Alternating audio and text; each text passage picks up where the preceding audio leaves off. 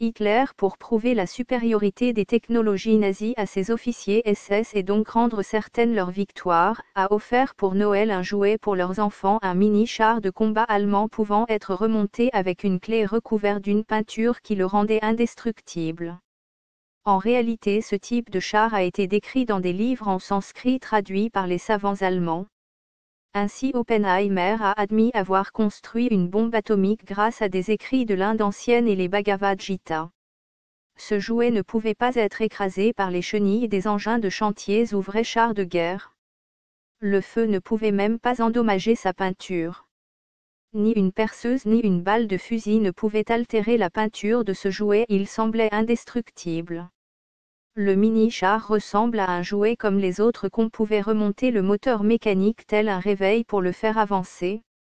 Mais en réalité il était possible de le faire avancer sans énergie extérieure simplement par la pensée donc la télépathie et l'énergie mentale il était aussi possible de le programmer mentalement pour qu'il évite de percuter un mur ou de sauter dans le vide et donc de le programmer par simple télépathie des officiers nazis ont révélé que l'armée allemande avait réussi à construire des voitures qu'il était possible de contrôler par télépathie sans toucher le volant et ces voitures pouvaient rouler sans carburant juste avec la force de la pensée grâce à un casque que le chauffeur devait porter.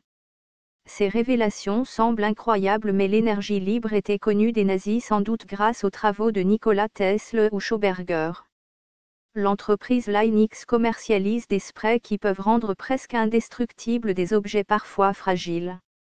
Cette peinture a été utilisée pour protéger le Pentagone d'un éventuel attentat terroriste, d'une bombe ou un missile après le 11 septembre 2001.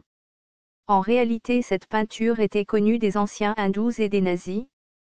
Tout comme cette peinture incroyable existe l'énergie libre aussi doit exister. Les frères Bogdanov ont évoqué ces mini-chars nazis et dans leur émission Temps X ont relaté une expérience où des poussins ont pu contrôler ce jouet par la pensée, ce qui prouverait que même les poulets sont capables de télépathie.